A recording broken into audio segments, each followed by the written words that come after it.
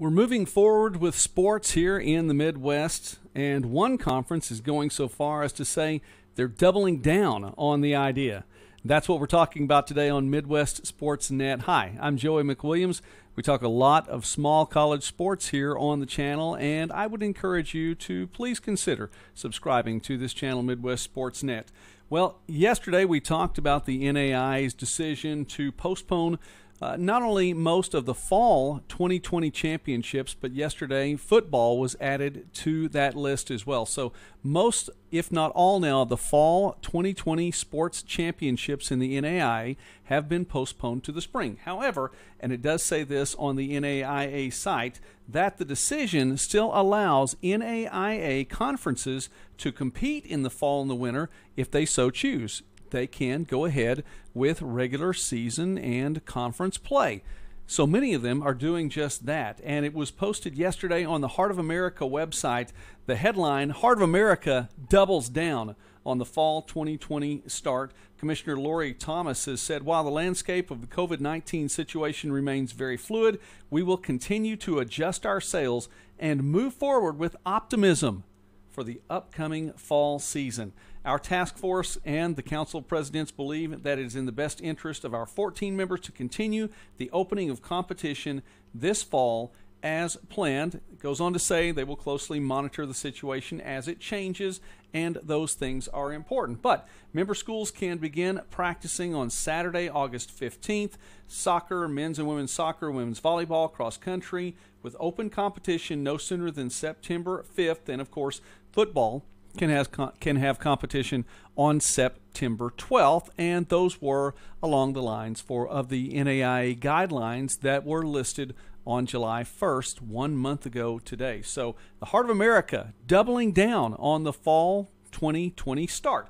A number of other conferences in the Midwest are are putting similar words out there. However, this is the first time we've seen a conference come back and say, "No, really, no, really, we're going to do this."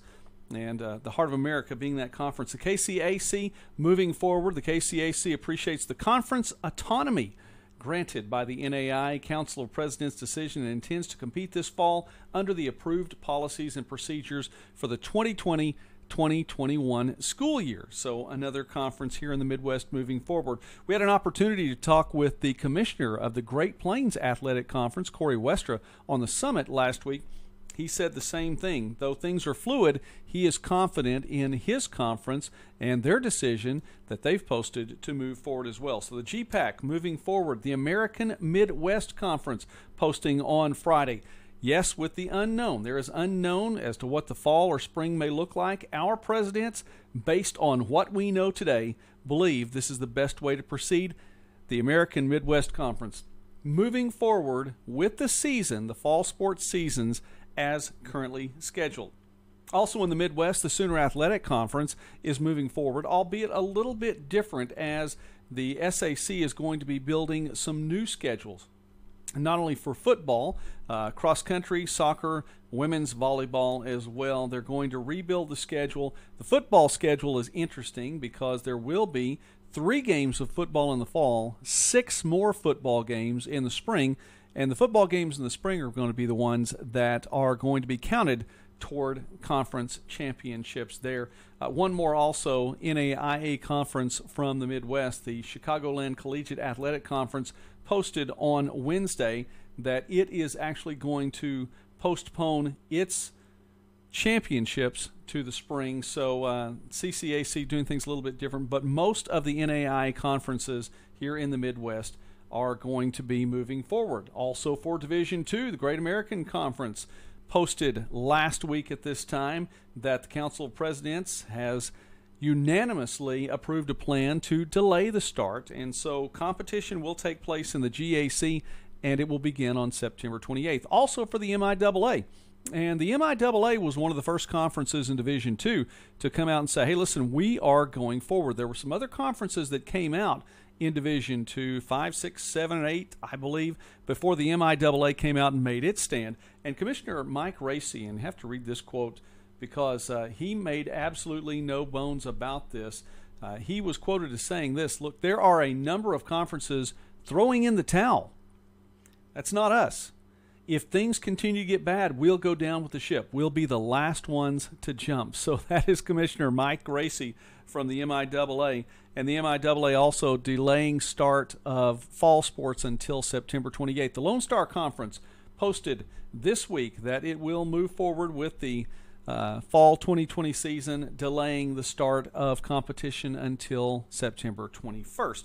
So there is that. Now, I talked about other uh, collegiate conferences throughout the country, many of them on the East Coast. On the West Coast, the California Collegiate Athletic Association, well, according to uh, the words from Mike Racy, threw in the towel back in May. On May 12th, decided to go ahead and suspend competition for the fall. Didn't say that uh, they couldn't compete in the spring uh, with some of those fall sports, but back in May said, nope, we're not going to do this.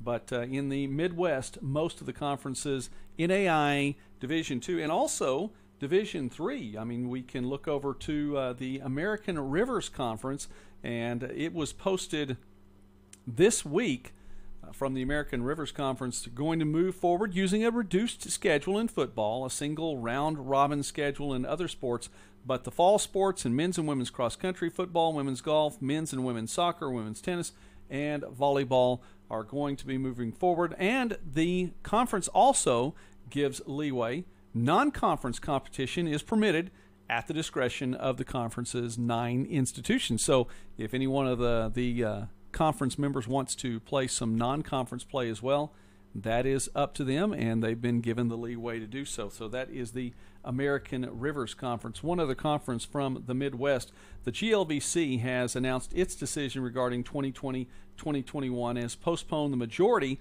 of fall intercollegiate competition until the spring. Of course, the uh, cross country is still going to be competing this fall, and that's in the Great Lakes Valley Conference. So for the Midwest, it looks like that sports are moving forward in the fall, and that is something exciting to think about if you're a fan of sports, especially in this Midwest Sports Net region uh, that we're talking about now. Many of the conferences will be seeing intercollegiate activity in the fall of 2020. And we go back to the way that uh, Commissioner Lori Thomas and the Heart of America put it they're doubling down they are definitely going forward with competition in the fall. Thanks for watching Midwest Sports Net today. Again, I'm Joey McWilliams. I would uh, appreciate if you would consider subscribing to this channel, Midwest Sports Net. We'll be back with more a little while later. God bless you. Have a great day.